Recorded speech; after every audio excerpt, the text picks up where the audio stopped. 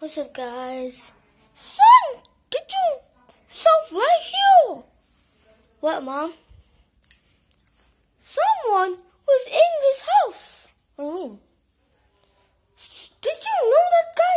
He was wearing a box on his head and he was also wearing glasses.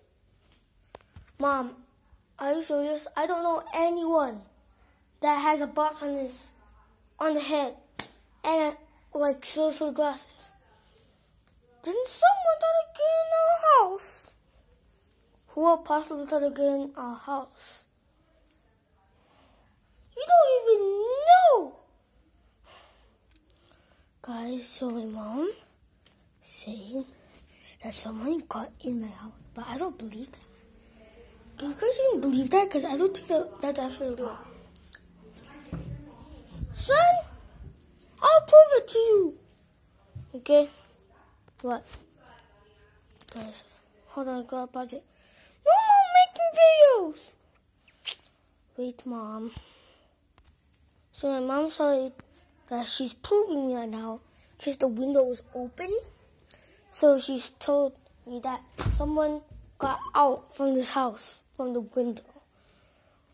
Whoever you are that's going in my house, not my house, wait, my mom's house. I don't know who is it, but if that person keeps going in our house, we might have to move out.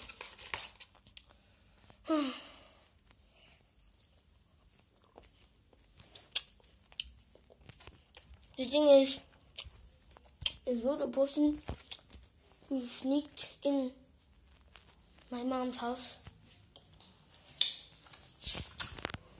then that's really bad. Like, stop doing it. And seriously, we could be able to actually move out just for whoever's doing this. So don't do this again. Whoever, whoever, are you watching this video right now?